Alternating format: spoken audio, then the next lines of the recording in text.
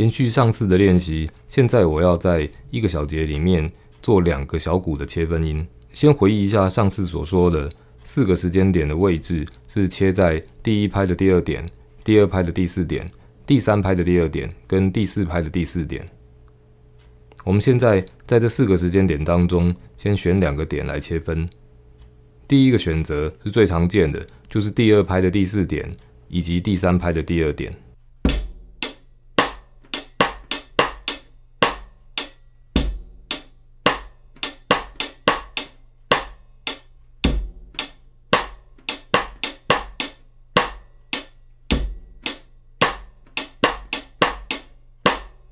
接下来我们试试看切分在第一拍的第二点跟第四拍的第四点，这样子的切分方式，在循环的时候，你会发现第四拍的第四点跟第一拍的第二点会有连起来的感觉。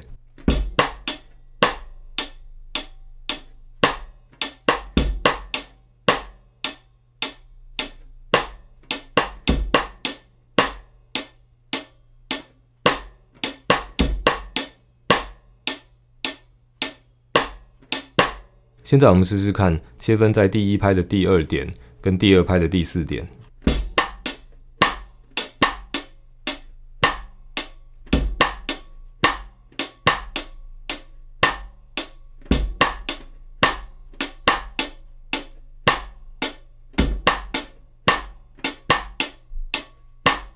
现在试试看，切分在第三拍的第二点跟第四拍的第四点。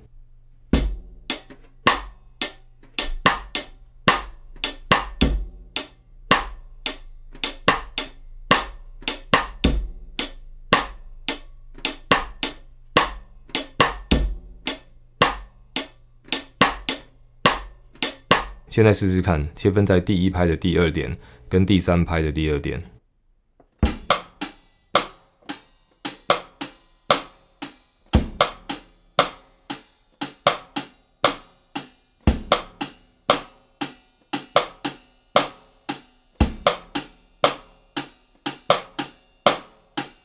现在试试看，切分在第二拍的第四点跟第四拍的第四点。